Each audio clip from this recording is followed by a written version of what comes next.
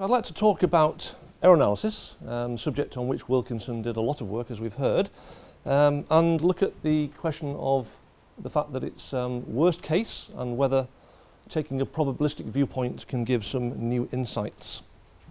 And this is joint work with uh, Theo Mary, uh, who's a postdoc in, uh, in, in the school here. So, um, just to emphasize once again, the 1963 uh, book, Rounding Errors and Algebraic Processes, is where um, Wilkinson first of all collected a lot of his um, previous work on, on rounding error analysis. Um, actually, a lot of the book was for fixed point analysis. Um, also block floating point, something we don't hear of today. Um, and then the later algebraic eigenvalue problem um, has a lot of error analysis in there as well, pretty much largely uh, floating point error analysis. So let me just recap on the landscape of floating point arithmetic today. We've heard a little bit about this already. Um, so until not so long ago, we really only had two precisions, single and double, um, which I'm calling FP32, FP64. So defined in the IEEE standard in 1985. The 2008 revision defined half precision, FP16, and quadruple, FP128. And um, so those are the four current IEEE standard arithmetics. Uh, a more recent arithmetic is BFloat 16, now BFloat 16 was introduced by Google on their tensor processing units a few years ago. And it's um, also um, about to be taken up by Intel.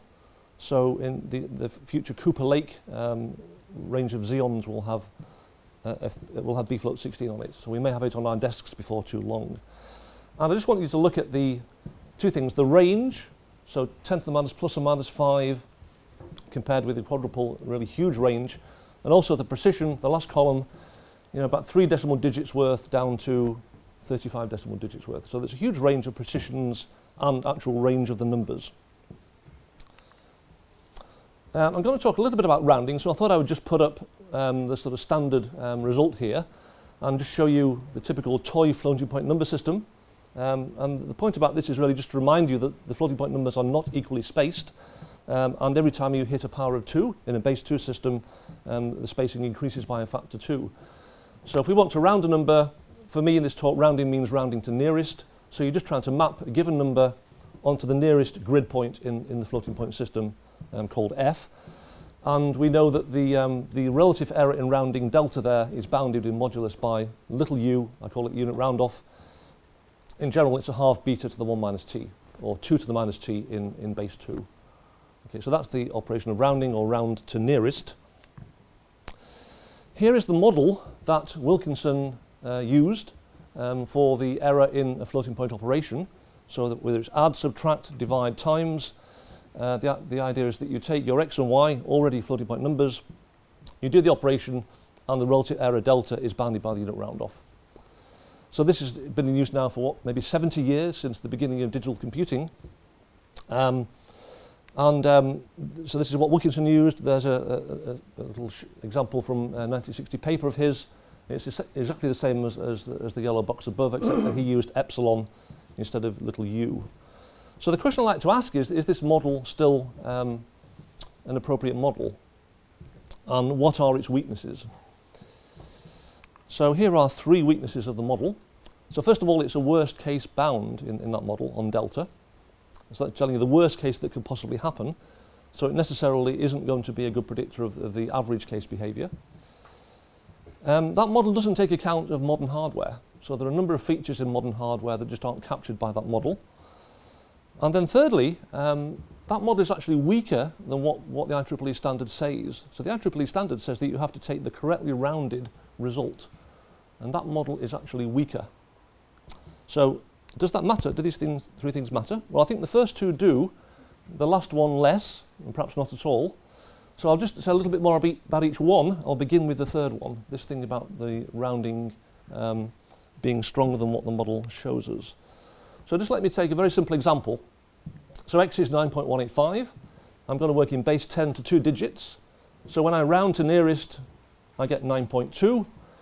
And the delta in this equation is shown in the third column and that is less than little u, which is 5 times 10 to the minus 2. So this line here is just telling us what we know from the theorem on the previous slide. But what you notice if you look at y is 8.8 uh, down to 9.6. For, those, for all those other y's that aren't highlighted, the, uh, the delta also satisfies the bound in the theorem. The mod delta is less than the little u, the unit round off. So it's not just the correctly rounded number that satisfies the model, uh, the rounding model, but a whole load of numbers and, and any, any number in between. So in that sense, the model is rather weak. And that's something that often isn't mentioned. Um, does it matter? Um, well, my, my qu quick answer is not really.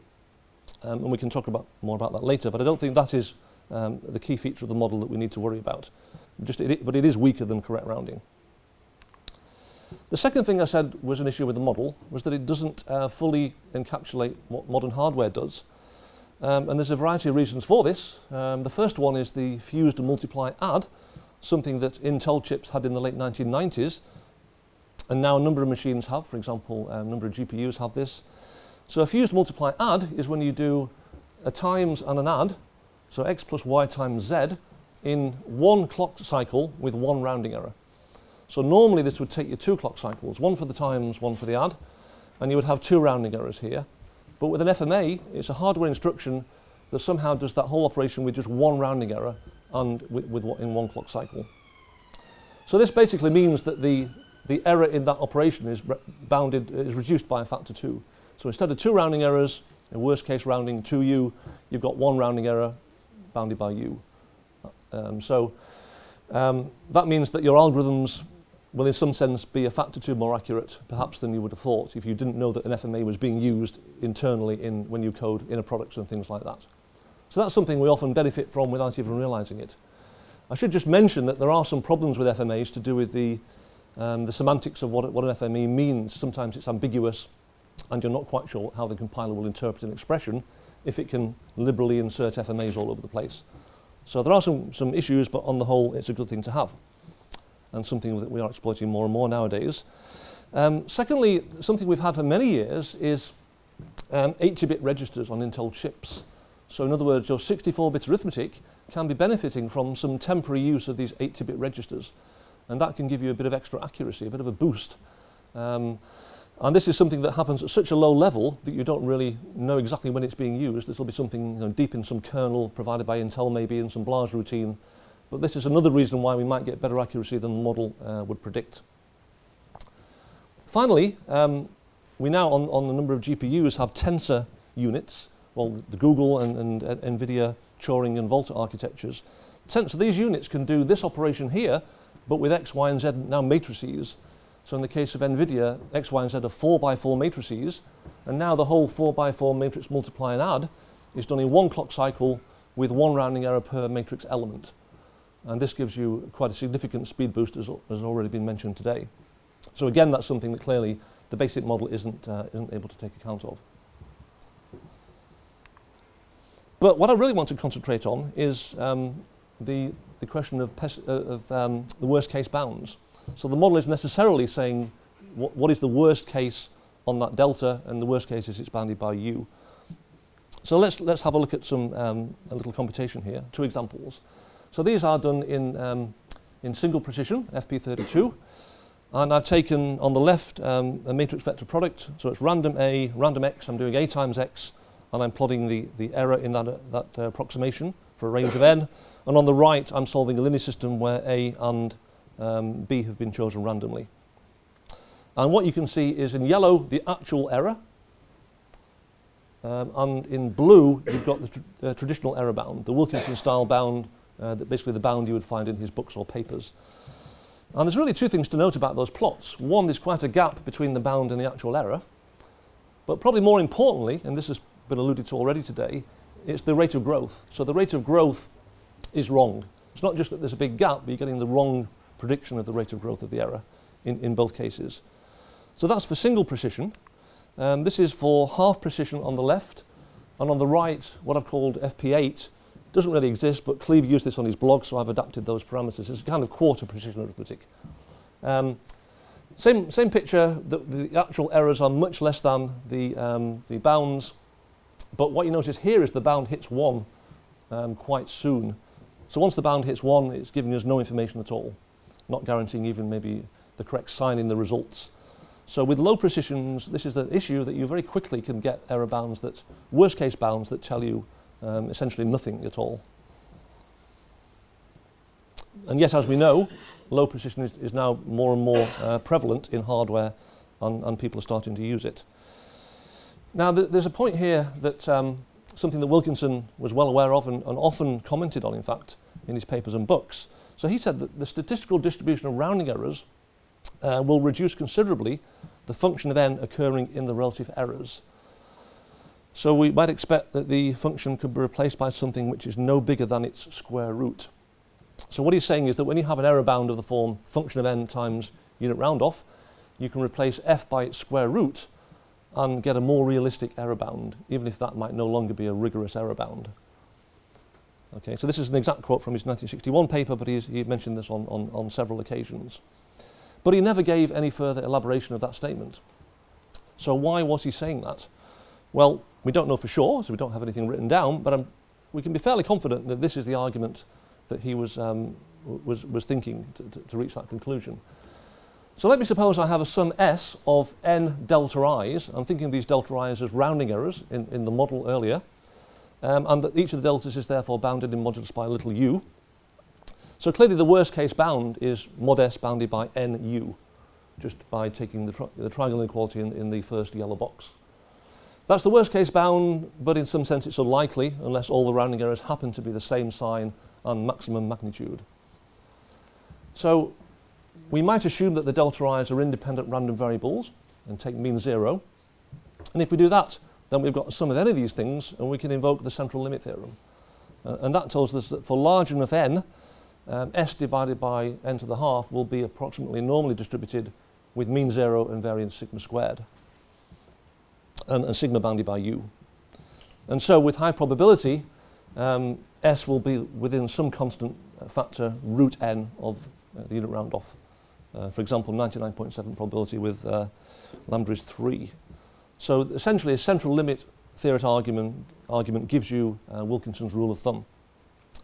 But there are two problems with this, um, this thinking, I think.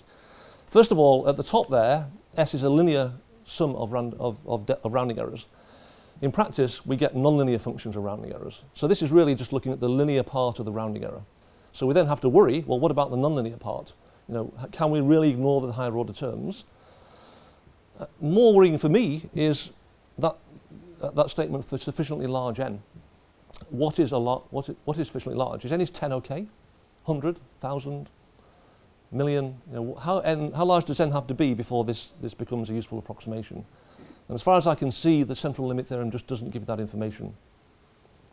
Okay. So, so that I think is the thinking behind the rule of thumb, but what I'd like to do in this talk now is, is try and give a, a, more rigorous foundation to that idea of take the square root of the, of the constant in the error bound. And the way I'm going to do it is by looking at um, this lemma. So this is the lemma I use in my book on which almost the whole book is based. So it's just a lemma on having a product of um, 1 plus deltas, and these delta deltas are from the rounding error model, um, and the lemma says that you know, how, how close is this product to 1? Well, it's within a factor theta, uh, a distance theta. Theta is bounded as shown there. So by what I call gamma n, which is nu over 1 minus nu. So basically, the, the theta is bounded by nu plus higher order terms, essentially. So from that lemma, you can then go on to derive error bounds for inner products, matrix vector, matrix matrix, LU factorization, and so on and so forth. So if we can have a, uh, a probabilistic version of this, we can then build on that uh, probabilistic versions of many other results. Okay.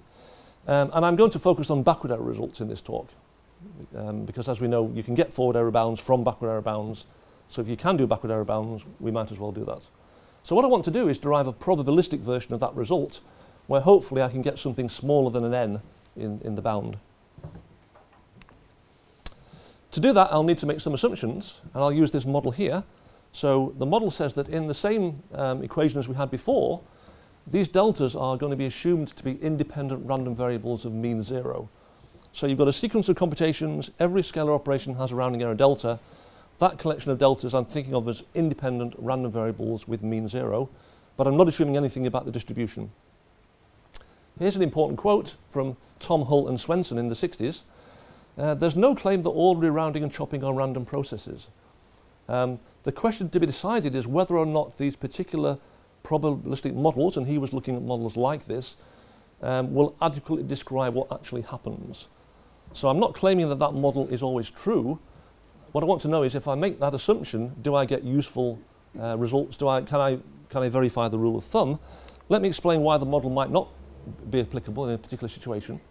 So first of all, the rounding errors might be zero in many cases. If you add two integers or multiply two integers, you'll get zero error. Uh, if you multiply by a power of 2 or divide by a power of 2 in, in, binary arithmetic, you'll have zero error. So those deltas are clearly dependent. Um, you might have two lines in your, your code that do the same thing. You might say x is 1 over 3 on one line and y is 1 over 3 on another line. You've got exactly the same rounding error on those two lines. Those two rounding errors are dependent. Um, there are examples, particularly due to Kahan, where you can see in a picture that rounding errors are correlated. And finally, and perhaps most subtly, in a non-trivial algorithm, later quantities depend on earlier quantities. Those early quantities have rounding errors in them. Therefore, the later rounding errors have some dependence on the earlier rounding errors, which again means they're not totally independent. So there are a variety of reasons why the you can argue the model uh, might not hold, um, but let's see if it will give useful predictions. So we, we want to now try and derive a version of that basic lemma. Um, so the lemma had the, one, the product of 1 plus deltas in it. Now it's not e so easy to an analyze a product, so I'm going to turn it into a sum by taking the log. So I get sum of log 1 plus deltas. Now we can apply something called a concentration inequality, um, which is really not so well known in numerical analysis. I think in some proofs of optimization convergence, I'm told that these, these things are used. Um, so what does it say? It says you've got n um, random variables, independent, bounded by these CIs, and it gives you a, a, a bound on the probability that the sum differs from its expectation by a certain value. So the sum differs by its expectation by at least psi, with probability bounded above by something that's got. These are zero mean random variables, right? These are um, just random independent. So they have to differ from their mean, though, by very little in order for the sum to differ from its mean by very little. But we have a minus psi squared in here, so as you increase psi, this goes down very rapidly. That's the key thing really to note about this inequality, that will, will turn out to be very important. So what we're going to do is apply that concentration inequality to um, these log 1 plus deltas. These will be our xi's.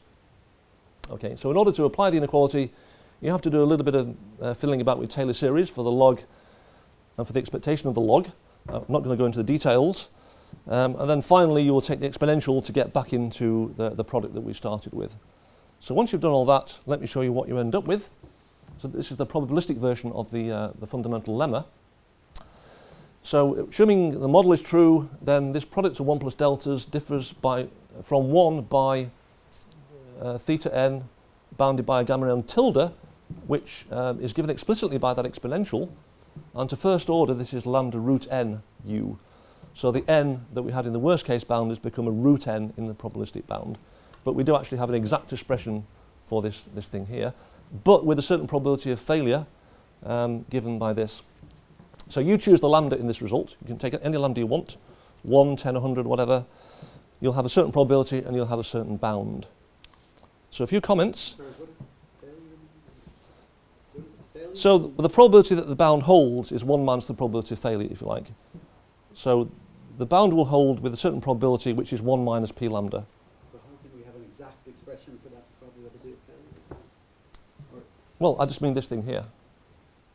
I mean, this, this is only first order, and this is exact. You just back solve the concentration inequality for the, for the probability. So it's an exact bound. Um, we don't require nu less than 1, interestingly. Remember, the, the previous gamma n had a 1 minus nu in the denominator. Um, that's a bit of a red herring. That's not really a, such a problem. Uh, importantly, there's no assumption of n being sufficiently large here, as there would be if we applied the central limit theorem. So this applies for any n. You can take n is 1, 2, 3, whatever you like. And um, because of this minus lambda squared, you don't have to take lambda very big to, to get a small probability. For example, p of 5 is less than 10 to the minus 3. So if you take lambda as 5, that, that bound will hold the probability um, within 10 to the minus 5 of 1. So having got that, I now want to apply it. And I want to apply it to, um, first of all, um, inner products. So I've got A transpose B with A and B vectors. Um, I'm going to give a backward error result.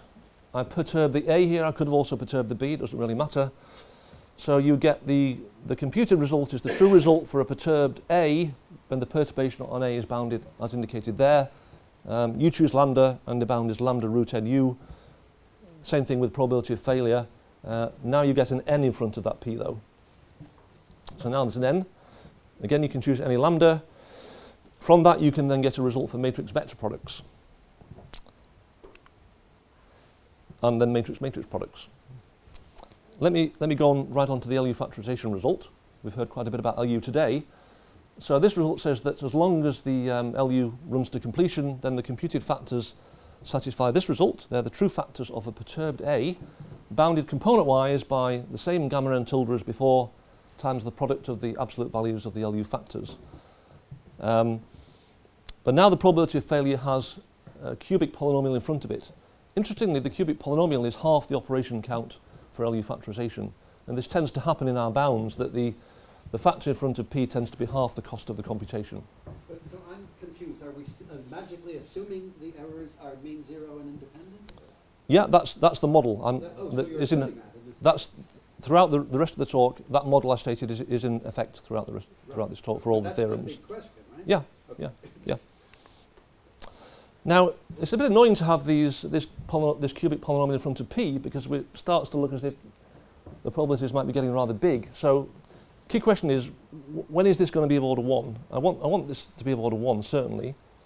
If you, if you solve this for lambda, you find that lambda will have to be of order root of log n, which is very slowly growing. So actually the n cube isn't such a problem, and it's thanks to the negative exponential in, in the p that, that, that that's the case. So for example, if you take lambda is 13, then for n up to 10 to the 10, the probability of failure is bounded by 10 to the minus uh, 5. So this is very likely to hold even for n larger than the systems we can even solve today, the largest n systems. And just to show you a bit more of that, um, here are some more realistic values of n. Here are some lambdas. These are the probability now of success. Um, so if you take n is 10 to the 4, lambda is 9, um, probability essentially 1 to 4 significant figures. Okay. So let me show you some experimental results to see if we can um, see how this, this uh, pans out in practice. Uh, he- so here we're simulating um, half precision and FP8 with um, actually our own chop function. Um, and we're going to compute the backward errors in, uh, in some computations, matrix vector product, solving x equals b, and um, we're choosing um, a and x here. Um, and random entries, so random a and b and x from either minus 1, 1 or 0, 1. Same plot as before, showed you that earlier, and in red now are, is the probabilistic bound. So it's much better than the um, worst case bound, albeit still a little pessimistic. If I change to from um, minus 1, 1 to uniform 0, 1, so now the probabilistic bound is pretty bang on here. So it, it's essentially sharp in, for this, this class of problems.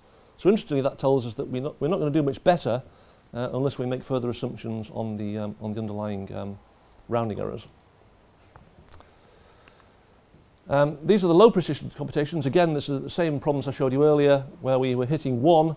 So the probabilistic bound is, is um, still giving us the information even when the worst case bound has hit 1 and is telling us nothing at all. Um, and this, the same thing now for half precision and quarter precision. Um, what about some real life data that's non-random? Well, here's a collection of matrices from SuiteSparse, um, Tim Davis's uh, problem set. Um, again, actual errors in yellow, worst case bounds in blue, probabilistic bounds in red, and you can see we're doing much, still a little bit of a gap, but we're getting smaller bounds and with a more realistic rate of growth as well. Um, I really haven't got time to go into this slide. I will just say we do have examples where the model fails. One example where it fails is when you have inner product of two large non-negative vectors. And um, th there is an explanation there, but I don't think I've really got time to go into it. Um, so we, we, we can certainly identify cases where the model is not valid um, and the probabilistic bound is actually less than the thing it's supposed to be bounding eventually. So to finish off, um, this is now a rigorous justification, I think, of Wilkinson's uh, rule of thumb. Um, so the, the key idea was not to use the central limit theorem, to use a concentration inequality. Um, and the bottom line is that these probabilistic bounds are substantially smaller than the worst case. They're still a little way off the, the actual errors in, in many cases. This quote from Kahan is very appropriate. The fact that rounding errors are neither random nor uncorrelated will not in itself preclude the possibility of modelling them usefully by uncorrelated random variables. So that's sort of answering the question that Hull and Swenson posed, and, and what we're doing uh, agrees, agrees entirely with Kahan's um, quote there in the green. So thanks very much. I'll finish there.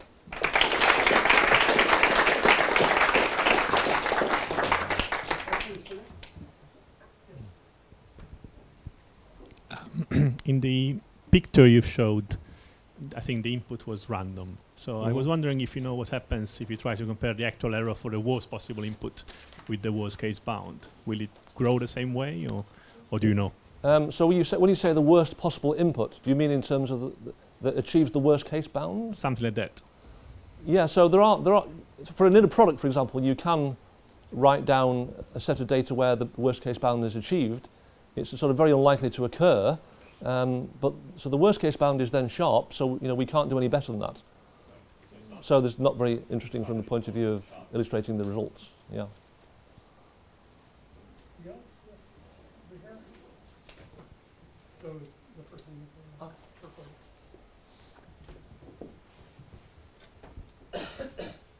So it seemed like positive correlation was something that could cause actual errors to be bigger than these um, Mm. probabilistic error bounds. Was wondering whether you've thought at all about whether you can have negative correlation between errors, whether that's something that would occur naturally or something that you could engineer in such a way that would actually cause the error to be much lower. Um, I think you could. Um, I mean, the examples where that we have where the model fails are, include non-zero mean for the rounding errors and correlated rounding errors. And the correlation could be in, in, in any sense you want, I think, really. So you, you can certainly find interesting examples. The question really is to find examples that are likely to occur in practice where, where this, this model fails. I think those are of particular interest. You know, not examples that are too extreme. There was one. Yeah, okay. I- So if you put Françoise Chatelin's uh, rounding uh, procedure from the 80s, where you choose the last bit rather than in our classical rounding, but choose it randomly and run experimental st- do a statistics, how, how would that uh, come along with your bounds? Do you know that? Oh, so you mean force the deltas to have a certain structure in, in the rounding error model Yeah. Um, so this is the Vignes work on Yeah, uh, yeah. stochastic rounding. Um, it's really a different process because there you're deliberately not computing the right answer, but you're generating a distribution of answers. Or you could just So- take a different distribution for the, your rounding errors. You, you make them uh, Bernoulli variables. What, minus one one. Then you. then You could can you could do that. Yeah, You can apply that. you could do that I'm- I'm so- experiment. so- so. Yeah. Uh, yeah, if you Yeah. just choose a different, Mm. you can still uh, plug it all into your Hoeffding uh, Yeah. concentration inequality. It applies. So you could just do Mm. that. Yeah. Nick, you probably had a question? Mhm. So maybe it's a sociological or historical question. Mm. So this idea of the probabilistic side of computing is very old. Von Neumann was interested in that. And Mhm. an, an, a big example in discrete ODEs, Henrici's book from 1963 gave Mm. a lot of attention to the, the square root of n effect. Mm. So um, there's something cultural, or for some reason this stuff hasn't caught on over the years. Um, is it your view that something has changed? I, I presume. I mean, although you have nice theorems, I presume that's that's not the essential change. Do you think there's something about our new environment that makes it appropriate to do something that wasn't popular 50 years ago, or were they all wrong 50 years ago? Wh- What's your view on that? Well, well the, the motivation for this is low is low precision. So if you've only got four digits, n times u is then one when n is a thousand, ten thousand. So suddenly the worst case is so bad it's telling you nothing. This will get you a little bit further, giving you some information. That's really was our motivation originally for, for looking at this. Elsa wants to. But Ilse might have another view. Yes, so lately, in the last 20, uh, 30 years, there has been a lot of uh, progress in concentration inequality, scalar concentration inequalities, which, which Nick is using, but then also uh, matrix concentration inequality. So I think these new tools have made it easier to do the analysis. Mhm. So I was just wondering, you, you were doing it sequentially, the summation and you come Mhm. up there, what happens if Yeah. you do it in parallel? So you have a tree to do that summation for the, the Well, the worst case bound is then log n, Yes, and I think we would get root log n, yes. wouldn't we, Theo? It- it- It's a Yeah, different yeah. algorithm. Yeah. He, he, The uh, same- a- analyzed yeah. recursive summation. But if you do the Mm. tree, then you have a, a smaller factor. Yeah. I think it's the same principle though, applies, yeah. Is there a question back there? Mhm. Yeah, remembering that story from Wilkinson, he was uh, giving a talk at a university. There was a sequence of talks, and the day before there was a banquet. And uh, Jim was sitting next to a bishop, and uh, the bishop asked Jim what, uh, what field of work, what, what, what was his talk going to be on? And Jim answered, errors. And the bishop said, that's a coincidence. My talk is also on errors, but I call it sins. Mhm. And Jim I think it was the Archbishop of Canterbury. uh, Jim, Yeah. Jim was quick to point out that Yeah. uh, his errors are uh, unavoidable. Mm. Yeah. C- can I make one final comment? Because Jim Bunch said something earlier. LINPACK that we heard about this morning was written by Dongarra, Bunch, Moler and Stewart, the manual. We've got Dongarra, Bunch and Moler in the audience We're just missing a of this 1970s package. So that's pretty impressive, isn't it? So where is Pete Bennett? Car- Yeah. North Carolina, North Carolina. who's living in a retirement, wi- retirement community. Mhm. Anything else? Okay, I guess we have a Mm. break now. Yep. Thank you very much. Mhm. all.